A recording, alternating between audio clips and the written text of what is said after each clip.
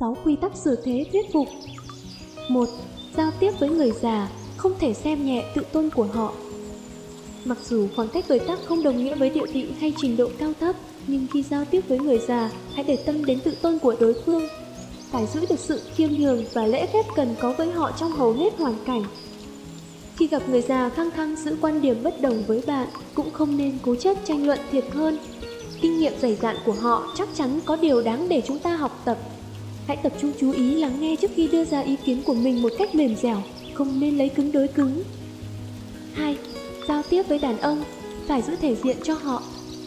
Đàn ông coi trọng nhất chính là thể diện, vì vậy khi giao tiếp với đàn ông, nhất định phải suy nghĩ cho đối phương, giữ thể diện cho anh ta, lưu lại cho đối phương một khoảng không gian riêng.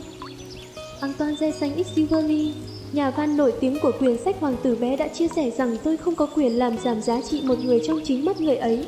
Điều quan trọng không phải là tôi nghĩ gì về anh ta mà là anh ta nghĩ gì về chính mình.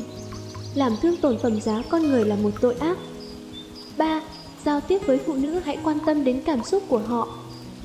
Khi giao tiếp với phụ nữ, không nên chỉ giảng giải đạo lý. Điều quan trọng cần để tâm hơn chính là cảm xúc của cô ấy. Nếu biết nắm bắt và giải mã cảm xúc của người phụ nữ, bạn có thể suy đoán đối phương đang nghĩ gì, đang cảm thấy thế nào để hiểu đối phương hơn. Bạn cần có khả năng san sẻ cùng họ, trở thành người biết lắng nghe và đáng tin cậy. 4. Giao tiếp với cấp trên, phải giữ tôn nghiêm cho họ. Giao tiếp với cấp trên nhất định phải chú ý đến sự khác biệt về thân phận và chức vụ, cho dù là nói chuyện phiếm cũng phải giữ thái độ khiêm tốn, không làm tổn hại đến sự tôn nghiêm của cấp trên.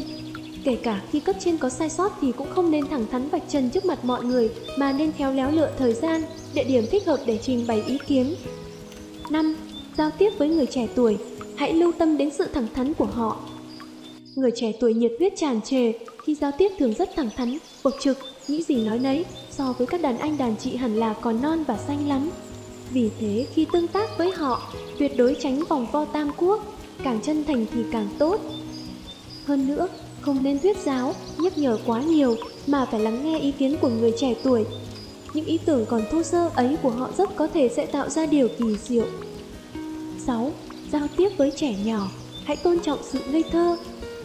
Giao tiếp với trẻ nhỏ, đừng nên bộc lộ sự bất mãn với cuộc sống, xã hội, như vậy sẽ khiến các em cảm thấy thế giới của người lớn quá phức tạp.